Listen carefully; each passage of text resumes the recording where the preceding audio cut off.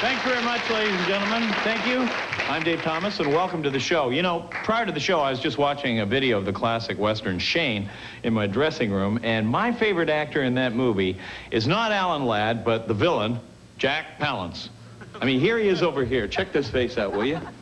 I mean, this is him being genial Jack, Mr. Nice Guy, but I mean, he does have a very scary face, and I mean, who else could have played Jack Nicholson's boss in Batman, except for maybe this guy. I mean, he's the only guy who might be able to top Jack in the scary division. Anyway, I'm glad he's back in the limelight. Remember his television show, Believe It or Not? He was great presenting the bizarre or freaky items, but when it came to the lighter items, Jack's scary delivery was way over the top. Like, the tiny dik-dik antelope of Kenya, smallest member of the horse family, can be held in the palm of your hands. Believe it or not. Cut!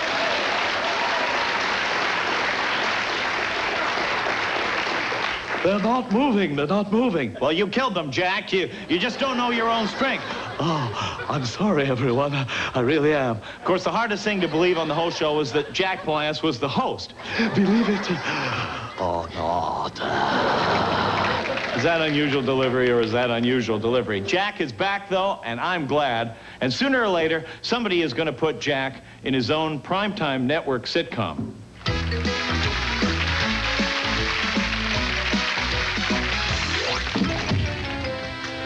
Sorry I'm late, honey. Gee, Jack, it's our anniversary. I'm sorry, but uh, Mr. Whiteside said we had to stay late to finish up that big Beasley account. When are you gonna stop ah. letting him push you around that way? Jack, Oh, sorry, honey. why don't you open the champagne and I'll go get the Chateaubriand? All right. Oh, 87, a good year.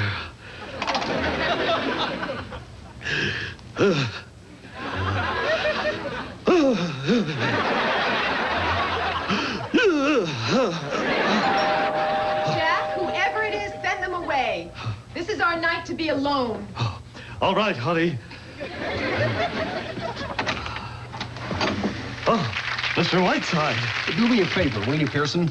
The wife and I got a last-minute invitation to the opera, and we can't find a babysitter. So we need you to take care of little Foster here. I won't stay with him. He looks like a monster. Foster. Pearson can't help the way he looks.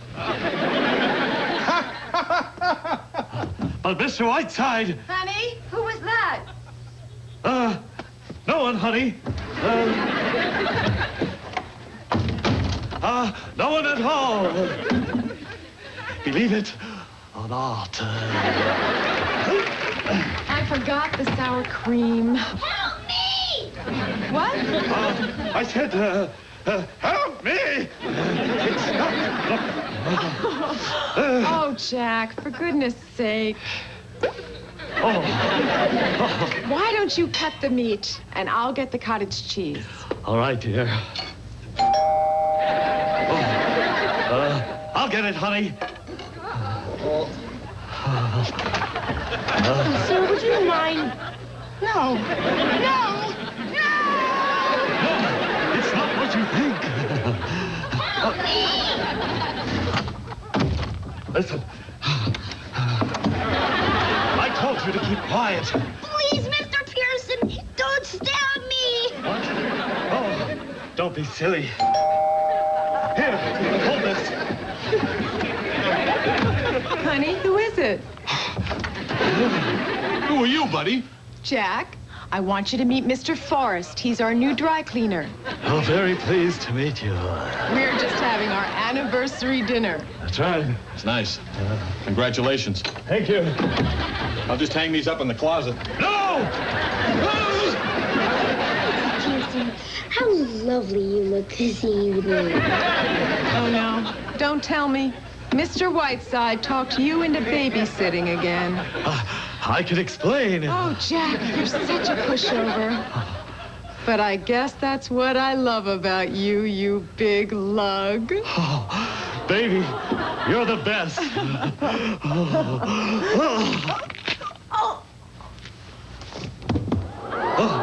Oh. I think I hugged her too hard This again. This guy is dangerous. Snake, I can't.